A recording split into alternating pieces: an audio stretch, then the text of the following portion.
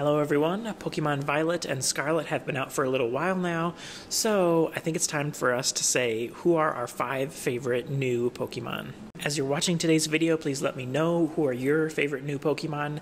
Um, and for me, in my list, I'm also going to include a bonus one.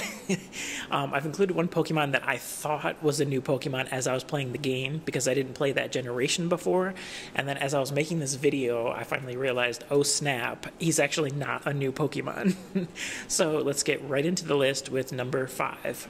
Coming in at number five, we have Tinkaton.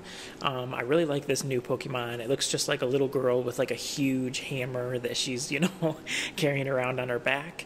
And I also really like that she is fairy and steel. I think that's a cool new Pokemon type. So Pinkaton, sorry, Tinkaton.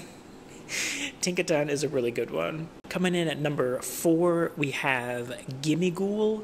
And Gimmighoul, as soon as I saw this Pokemon, I was super excited because I'm a big like classic JRPG fan, and you know that's kind of always a trope in some of the older games where you go up to it and you think it's going to be a treasure box, but then nope, it's a monster that's coming out to get you.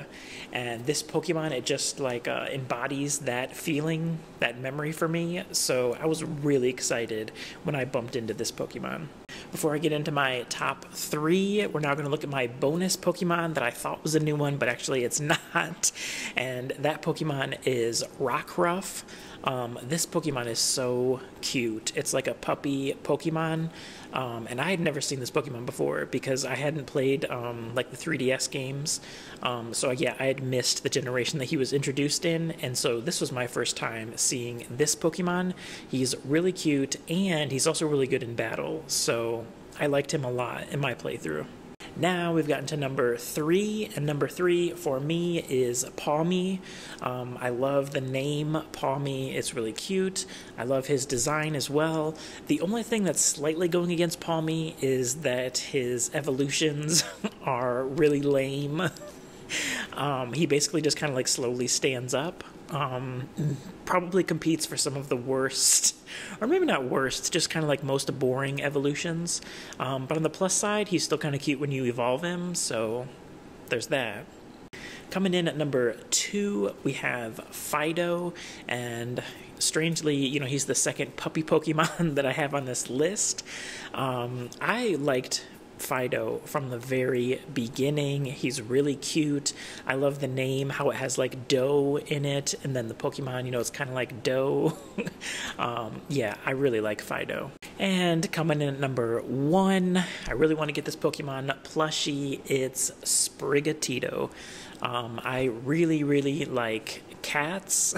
um, and then this cat is like a grass type cat, and it's a starter.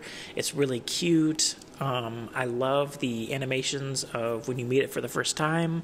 Um, its evolutions are actually quite good. Um, I wasn't a big fan when I saw its final evolution initially, but I do have to say that it steadily grew on me, and then especially seeing one of the other starters, final generation, uh, final evolution, I was just like, mm, okay, you know, I think Sprigatito, they, they did a pretty good job.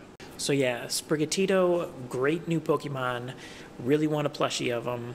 Um, actually, I would love plushies of Sprigatito, Fidough, Pawmi, and Rockruff.